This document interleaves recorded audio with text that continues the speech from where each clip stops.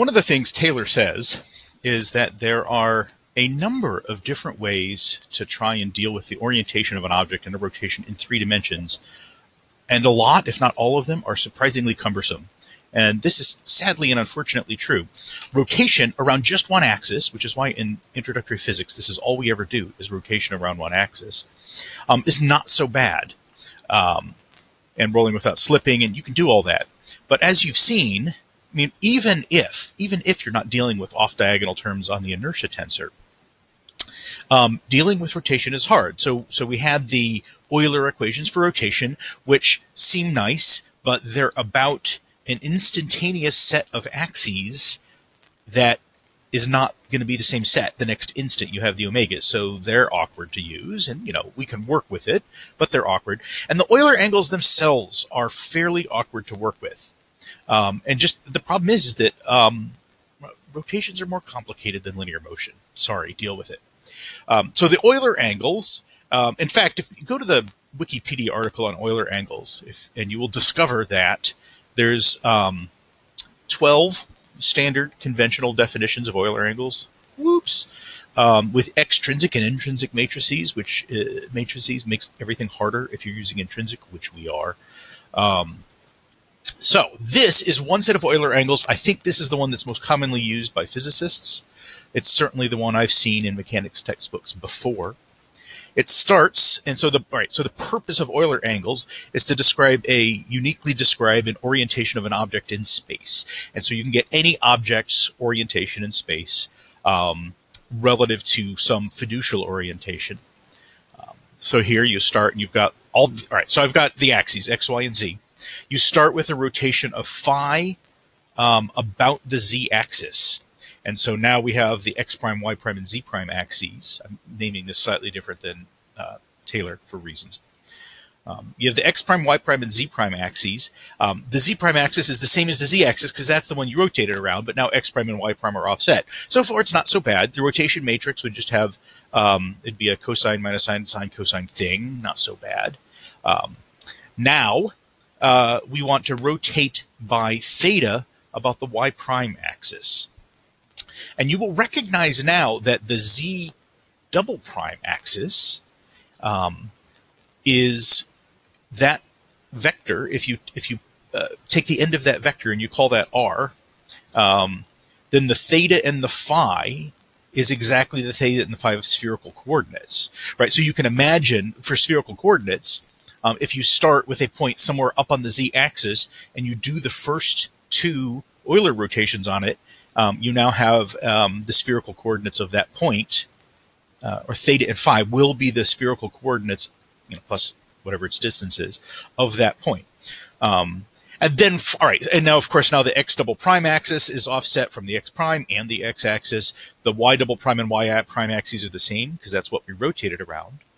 Um, one more rotation. Now we rotate around the z double prime axis. And I remember when I very first learned about these, I thought, wait, why are we rotating around z again? And we're not. We're rotating around z double prime, which is not the same as z. We rotate by psi around z double prime.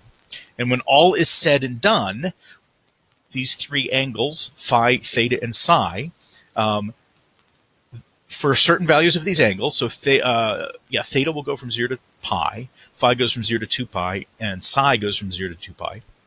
You can orient anything in any direction.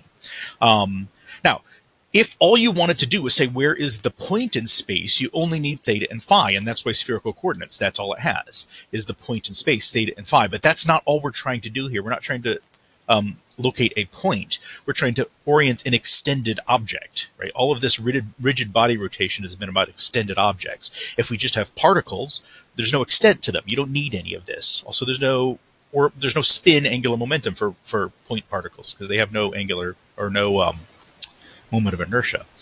Um, anyway, um, about their center because their center is all of them. So, so you know, to be clear, we it's not just finding a point in space, but it's the full-on orientation. So I'll start here with this uh, woman who used to watch the Foucault pendulum. Um, and if we do the three rotations, so we start with the phi rotation about the z-axis. And then we do the theta rotation about the new, the y prime axis. Um, and so in that, now you can have her head at any point in space from those first two rotations. But notice that which way she is facing um, is there's only one way she can face um, given where her head is if we use these two rotations to get here. So we need one more rotation, and we can just rotate by psi um, around her body now, and now she can face in any direction, and that's where the orientation comes in. Uh, that's the Euler angles, right? So then working with the Euler angles is actually kind of difficult. Um, now, one thing you can try. Um, there's a, I was fairly deep in a fairly nasty rabbit hole most of this afternoon, uh, playing with rotation matrices. Um, one there you can try and build the rotation matrix that goes with the Euler rotations. It's kind of long when you get to it, but it's not so horrible. But getting there is kind of challenging uh, because you're rotating around. So the first rotation is easy. You're rotating around Z. A rotation matrix like that is easy. This next rotation, hard because now you're not rotating around X, Y, or Z. You're rotating around Y prime, which is off at some bizarro angle. And honestly, the way I figured out the rotation matrix, and I'm not 100% sure I did it right, I used quaternions. What are those? That's another way of talking about rotations. Quaternions, um, basically the way it works is that um, a quaternion represents a rotation in the form of a unit vector that is the axis of the rotation and it's oriented, and then the angle, which is the right-handed rotation around that unit vector. Um, so that's that's how you represent a quaternion. Uh, exactly how you represent the components are not that important, but given those two things, you can understand that can represent a rotation. Um, so and it's it's pretty easy to write down the components of a of a quaternion if you know that unit vector and you know the rotation. Whereas it's really hard to write down the components of the um, rotation matrix if you know the thing you're rotating around, unless it happens to be one of the three cardinal axes. So um, they get pretty nasty. Um, I do want to do a little bit about rotation matrices, though. All right, so we're going to start in two dimensions. So here's the basic problem. You have your x and your y axes and I have some vector v, which I'll, I'll, I'll describe the vector, I'll put its uh, tail at the origin, and I want to rotate it to some new vector v prime, and I want to rotate it by theta, and if you, uh, I will just stick in 2D, but if this was 3D, the z-axis to be a right-handed coordinate system, the z-axis would have to stick out of the page, but we won't worry about the z-axis yet. I want to rotate by theta. Well, so it turns out um, basically what I want right now, I have my components Vx and Vy. I want to find the components of V prime X and V prime Y. Um, it's a whole new vector, right? I have rotated the vector. It's now pointing in a different direction. Um, you can get V prime X and V prime Y written as a column vector here by multiplying this matrix, cosine theta minus sine theta, sine theta cosine theta times the original vector, vx, vy, right? So that's just a simple rotation matrix. That's, we'll rotate the vector by theta. Um, and, you know, as a simple example, let's just imagine that you wanted to rotate x hat, right? So here's x, and here's y. x hat, of course, is just along the x-axis. If you want to rotate it x hat by theta, well, so looking at that, um, you can go ahead and do a right triangle. You can take down here, you can figure out that this rotated thing should have um, components cosine theta comma sine theta, right? Because it's just a little right triangle. Well, go ahead and do this rotation matrix. Cosine theta, I'm running out of space. I'm going to write smaller. Sine theta, sine, that's minus sine theta, sine theta, cosine theta. And if I multiply that by x hat, well, now the matrix multiplication is not very hard right? So if you don't know how to do it, ask somebody who does. Um, cosine theta times 1 minus sine theta times 0, that gives you cosine theta. And the second one, sine theta times 1 um, plus cosine theta times 0 gives you sine theta, right? So it gives you the right thing. By the way, um, one of the things about these rotation matrices, they're easy to remember once you realize the, the cosines are on the axes and the sines are off. What's hard is remembering, does the negative sign go there or there? And this is how I figure it out. I think about what happens if I rotate x hat, and that's how I can figure out where the negative sign needs to go. If theta equals zero, this is the identity matrix, right? So if theta is equal to zero, this matrix is 1, 0, 0, 1, because cosine of 0 is 1 and sine 0 is 0. And that, uh, a lack of a rotation should give you exactly the same vector that you started with. So that's good. Now, there is a subtlety that comes in here. Sometimes what you want to do is actually something a little different, right? I've got the x and the y axes, and I have some vector, which you can think of, it can also just be a point in space, right? Whatever, it's a vector. Um, and I, I know its components. I want to find its components in a rotated coordinate system, x prime, y prime. And if you think about Euler angles, you can see why this would be an important relevant thing to do, where the coordinate system is rotated by angle theta. Um, okay, so how do you figure out what that is? Um, well, here's how you can figure out what that is. Let's start. Um, well, instead of start, let's draw the x and y prime frames like this, x prime, y prime, right? And so then the x is like this, and y is like that. And now you notice the vector is at some angle off of the x-axis, which we'll say was something like that, right? So this angle is the same as that angle. Well, what have I done here? You'll notice that I rotated the coordinate system down by theta. Is exactly what I did, right? Because it, it was theta to go from, so rotate x up to x prime, so rotating x prime down to x is the same as rotating by theta. And where this vector um, used to be, if uh, not really used to be, but this this is the thing that would have the components in the prime system if it had the same components in the x system, and that angle is also theta. So if you want to rotate the coordinate system,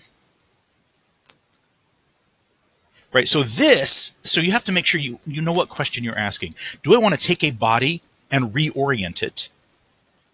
Uh, in that case, you use the rotation matrix I already gave you, and that's what we're doing with Euler angles. If you have a vector in one coordinate system and you want to find its components in another coordinate system. So here, we'll call this V. And I'm going to be careful. My notation, it looks the same, but it's not. I'm going to have V sub X prime. And notice the prime is on the X, not on the V. Before it was a different vector. Now it's the same vector, just components along different basis axes, right? If you're rotating the coordinate system, it's just like going backwards, right? So you put in negative theta for theta, but of course we know that sine theta is odd and cosine theta is even, so the, the signs come out like that. So you have to use a backwards rotation matrix if you want to rotate. Um, if you want to rotate your coordinate system, right? And so then, um, what you can do is, so then you can come up um, without too much trouble with rotation matrices um, in 3D to rotate around the z-axis. Um, so that will rotate a vector, change the orientation of the vector by a rotation of theta around the plus z-axis. This will um, rotate the vector, change its orientation by theta around the plus x-axis, and you'll notice it's very similar, right? It's just that now the x is the thing that's got one because x is the component that won't change if you're rotating about x. And then here's the y-axis. Um, you have to be a little careful with the y-axis because of where the negative signs are. Um, if you draw the picture, I mean, anyway, just use your right hand and make sure you're drawing things in the right direction and you can figure out where the negative sign needs to be. So you've got those three rotation matrices that can rotate around the X, Y, and Z axes. Now, in principle, you ought to be able to use those to build up the um, Euler angles, build up a rotation matrix for the Euler angles, but it turns out it's actually kind of hard because you can't just straight up multiply these matrices together. A rotation around the z-axis followed by a rotation around the y-axis, you could ma- build that just by multiplying ry time, times rz, matrix multiplication. You'd have a single matrix to do those two rotations together. Hooray. But that's not what Euler angles are doing, right? It's a rotation around the z-axis followed by a rotation around something that is at angle phi with respect to the y-axis. Yeah, right? And then another thing that's at yet another angle. So um, coming up with those rotation matrices is a little bit more challenging. But um, if if I did it right, it does reduce to something kind of tractable. It's kind of long.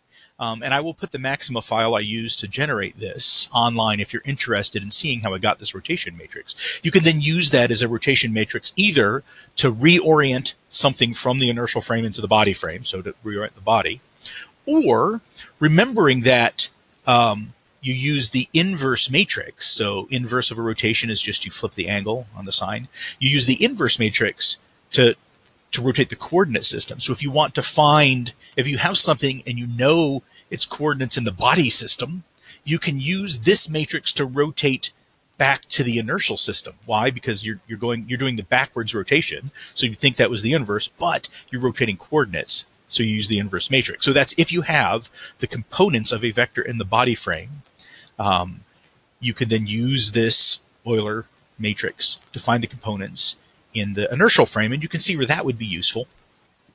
Um, and then finally, if you want to rotate a tensor, if you want to, all right, so we we know the inertia tensor of an object in its body frame. It's diagonal with the lambdas on the um, axes. You could then find the inertia tensor in the inertial frame uh, by doing this with the Euler matrix, where capital R there represents the Euler matrix. Um, so when you when you do a tensor, you actually don't just multiply the matrix once; you have to multiply it twice, uh, and then you have to transpose it once. So it gets it's more involved. But whatever, it's matrix multiplication. At that point, you can do it, and um, uh, you will get something very long. But whatever, you can try and work with it. Now, um, uh, Taylor works with it, and he works out the precession of a top. And I'm not going to redo everything he did. I'm going to, go through some of it. Um, I'm not going to redo everything that he did, um, but you know, he works in a in a simpler case where he has two of the lambdas are the same as each other, so you can be a little more cavalier about the psi rotation in that case, um, because um, that psi rotation, um, anything in that final orange plane there, any two axes along there will be principal axes, any two perpendicular ones, because of the symmetry. You've got rotational symmetry.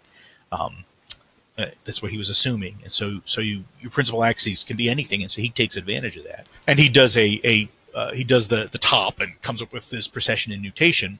Um, from my own point of view, if what you're really interested in is doing a numerical solution, um, I'm not convinced I would want to use the Euler angles. Um, you know, one way to handle rotations is quaternions, but actually, I think the way I would like is the code that I posted last time, uh, where we use the Euler equations. Right? There's the Euler angle and Euler's equations. Oh my goodness, Euler, you've named too many things.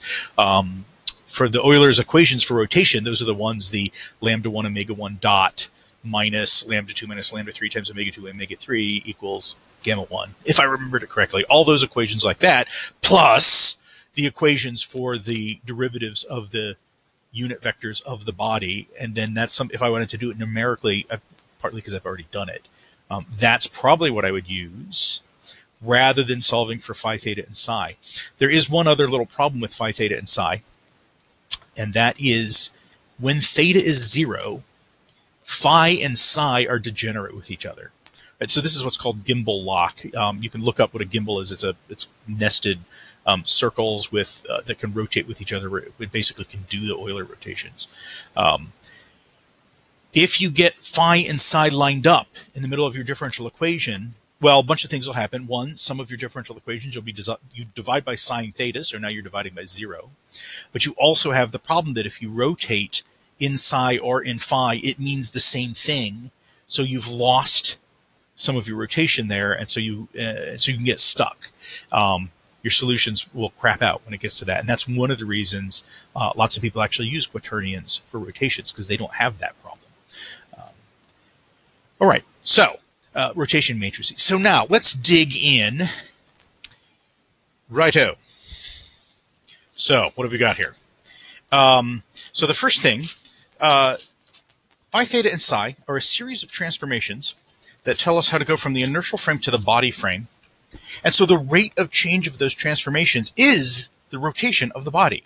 And so you can write the rotation of the body, omega, as a vector is equal to phi dot z hat plus theta dot y prime hat plus psi dot z double prime hat. Okay, now um, if you evaluate these unit vectors, if you get their components in well any frame, whichever frame or whichever coordinate system you get these unit vectors components in, you now have the components of omega in that system. Now this should scare you a little bit. You have no problem, I hope, by thinking that you know if I have a I have an object that's moving at speed v um, relative to the box, but then the box is moving at you know velocity v here, that relative to the ground, um, the little ball is just is moving at v plus v, right? That's just linear addition of velocities just works out straight until you get to special relativity, and then it doesn't anymore. But uh, in you know classical mechanics, non-relativistic mechanics, you can just linearly add velocities like that. You should hesitate before thinking, can I just linearly add these? If you think about it, what is this saying? This first one, phi dot z hat. Well, phi is a rotation around the original z-axis, so phi dot z hat, that is the omega vector of that part of the transformation. And then theta dot y prime hat, y prime hat is the, or theta dot, it's rotating at theta dot around y prime hat right now instantaneously, so that is part of the omega. And likewise, it's rotating at psi, or, or it, it has a rotation psi around z hat double prime, and so psi prime z hat double prime is that part of the rotation. Psi, the, this rotation is on top of this rotation, which in turn is on top of this rotation. Um, so that's very much like this case where this is within this motion. Um, can you just add angular velocities like that? And the answer is yes, you can, but you shouldn't think that it's obvious. So go back to section 9.3. He works out that you can do it. Um, but just always with rotation like this, be worried that you're you're making too many rash assumptions.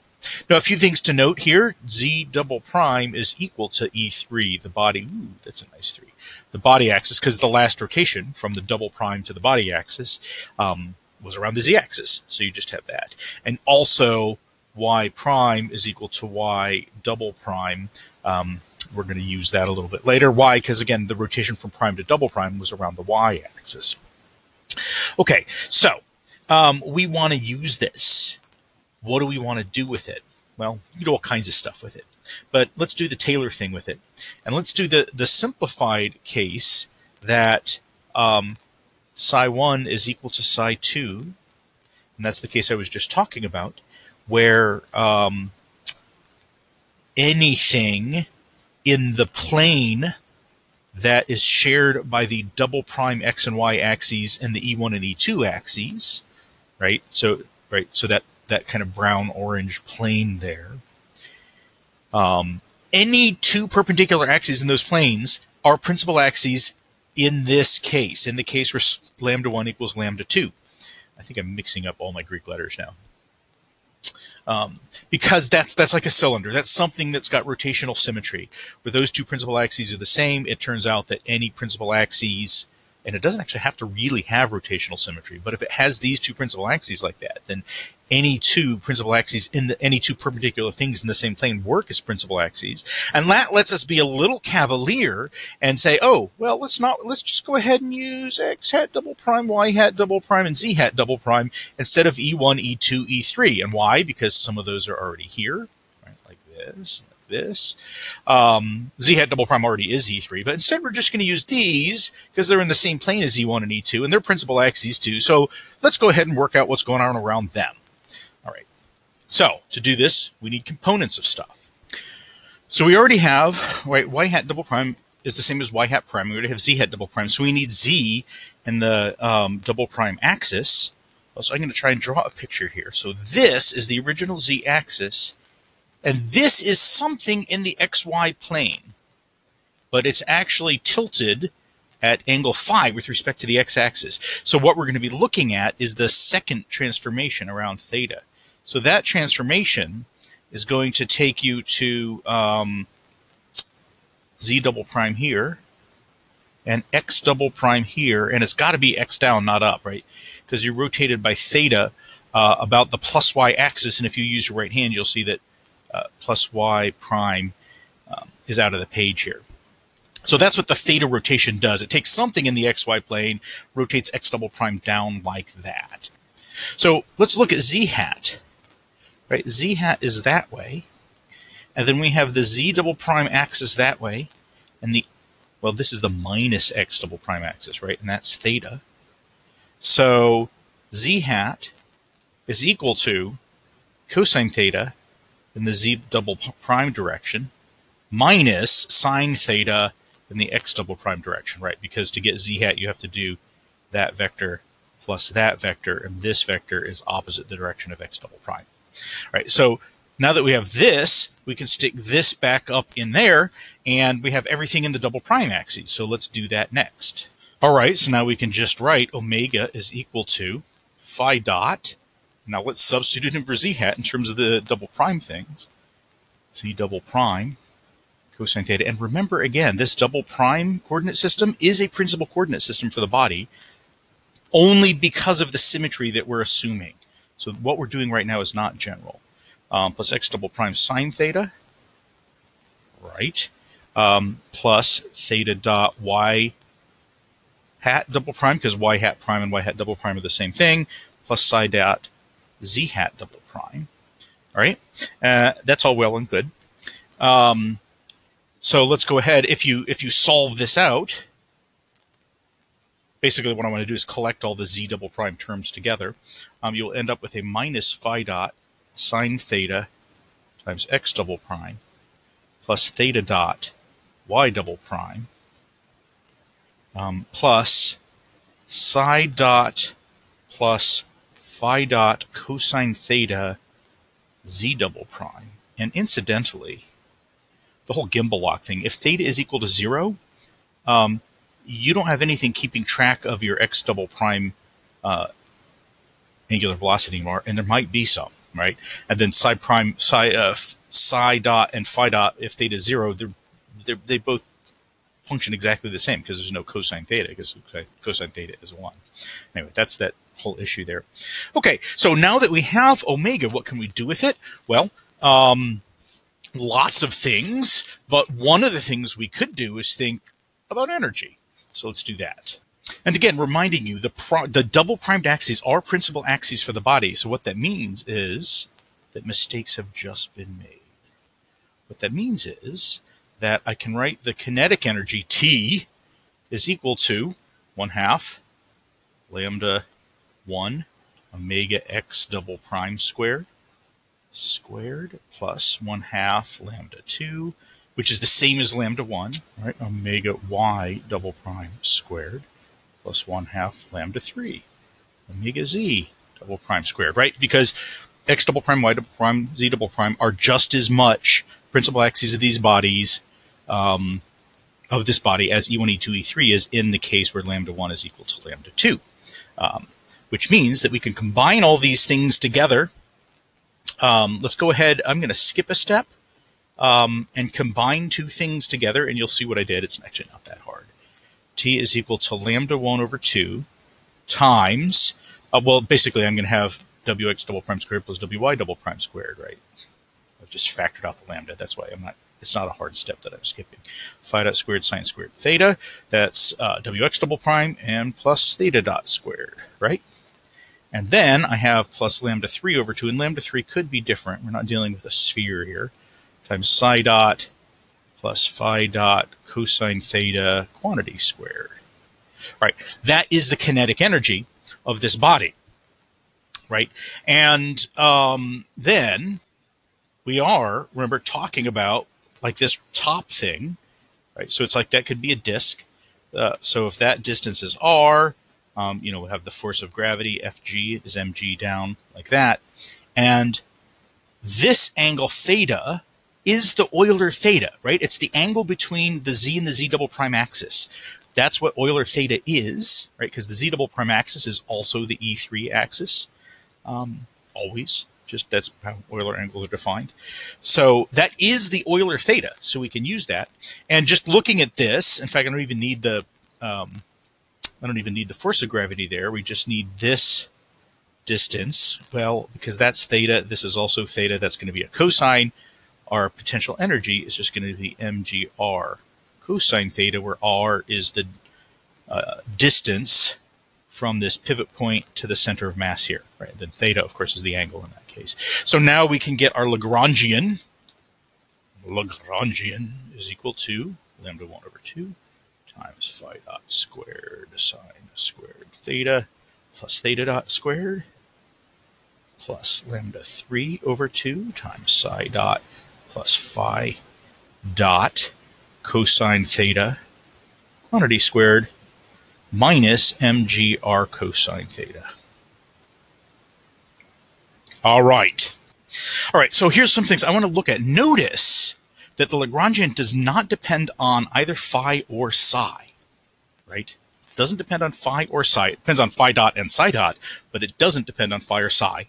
Um, and what that, when you have something like that, that tells you that, so remember the generalized momentum, uh, or the, the phi component of generalized momentum, phi being one of our generalized coordinates, we're using the Euler angles here as our generalized coordinates, is defined as partial L partial phi. Um, well, the Euler-Lagrange equation is going to say that d by dt of partial L partial phi, sorry partial L partial phi dot. I said that wrong before. Um, is going to be equal to partial L partial phi, but partial L partial phi is zero. So this is going to be a constant. Partial L partial phi dot is going to be a constant. Let's work out what it is. Um, let's not yet. I want to do the other one first. We also have p, p psi, right? The psi component of generalized momentum. This is also going to be a constant because once again, um, in the Euler-Lagrange equation, the partial L partial psi term doesn't exist. So this thing d by dt of this is zero, which means this is a constant. I want to do this one because this derivative is not very hard to do. Psi dot only shows up in one place. Um, it's in that squared thing, and so uh, what's going to happen is you're just going to have the square to cancel the the one half, and you'll get psi dot plus phi dot cosine theta, right? That is p psi. It's a conserved quantity, so we're going to define it to be L3. It does turn out, this is not immediately obvious, but it does turn out that this is the same as the component of angular momentum about the body axis, or sorry, along the body axis, right? How do you know? Well, I could also have done, um, I could have worked out L3 uh, was equal to um, lambda 3 omega z. In fact, here it is. We're just doing it right now. Um, omega z double prime. And you would have discovered, oh, this is exactly what. So L3 is a conserved quantity, and that's kind of nice. So then what, is, what does P phi work out to be? The derivative is a little less pleasant. It's not terrible. It's just a little bit longer. Um, works out to be lambda 1 sine squared theta times phi dot. It's a phi dot. Um, plus lambda 3 times cosine theta times psi dot plus phi dot cosine theta, right? Or you could write this also as lambda 1 sine squared theta phi dot plus L3 cosine theta, right? Because notice L3 was just in there. So that's P phi. This is also a conserved quantity. This, if you go back and you look at the angular momentum thing, is equal to the angular momentum in the z direction right? So the torques are always in the xy plane. So angular momentum in the z direction should be conserved. And hey, look, it is. Um, so look at Taylor equation 10.102 if you want to see these angular momentums. Uh, all right, so we have these two conserved things. Knowing that they're conserved, what we can do is go back and look at the Lagrangian and notice in the Lagrangian, I've got uh, this right here is uh, just that term in parentheses is L3 squared divided by lambda 3 squared, right? So I can get entirely rid of that. The other thing I want to do is let's get rid of phi dot. Why? Because we can. Let's get rid of phi dot um, because you can get phi dot in terms of these constants, p phi and p psi. Um, I won't actually do the algebra. I trust you to be able to do that algebra.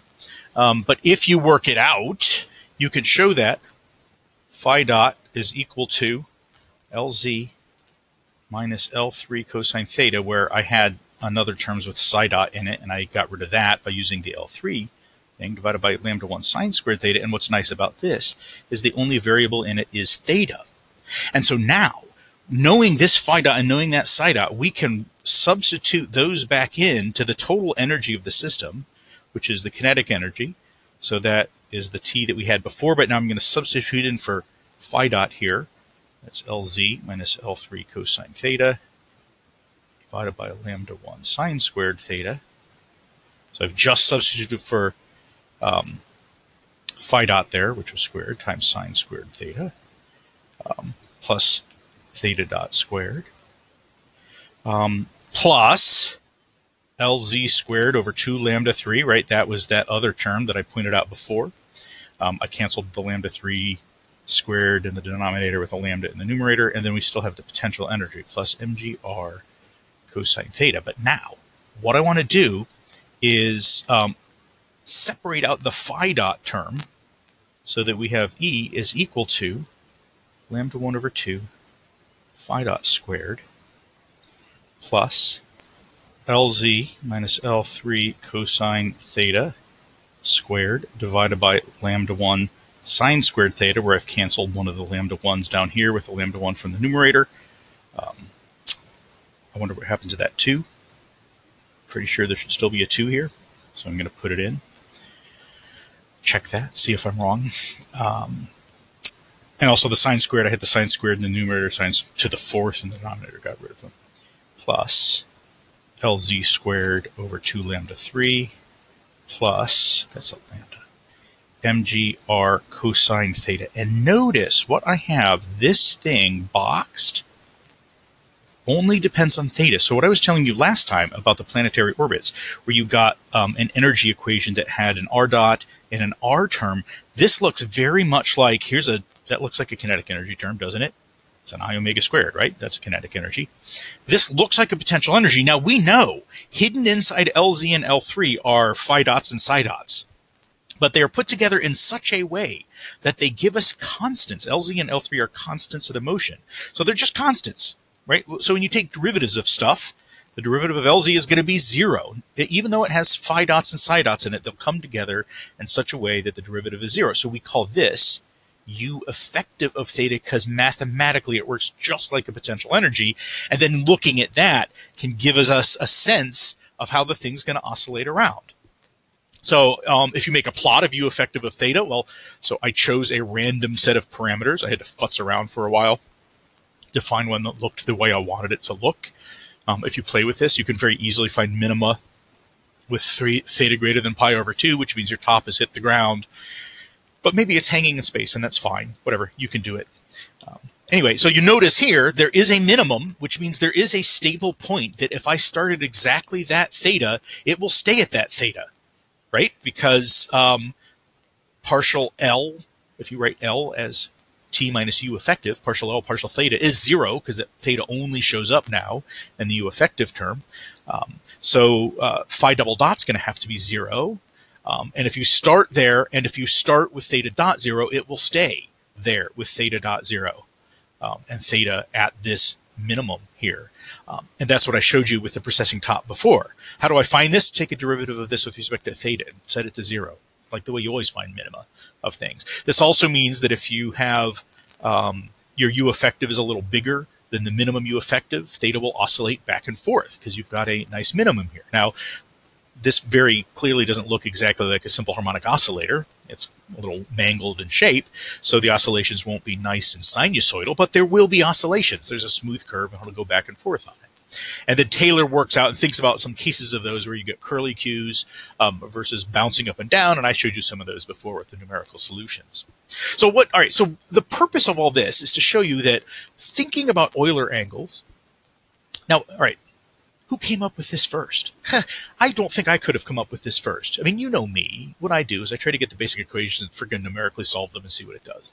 Um, but this does show by analyzing Euler angles, you can figure out things about how a symmetric top will bob around. And the symmetric top is not as contrived a case as you might think. You know, there's a fair number of things that have a approximate cylindrical symmetry, like for like an airplane propeller right? An airplane propeller will have um, one axis perpendicular to the plane of the propeller, and then it turns out that um, any two axes um, in the, uh, assuming your propeller is built well, and this wouldn't be a propeller with just two propellers, but like four, right? So one, two, three, four.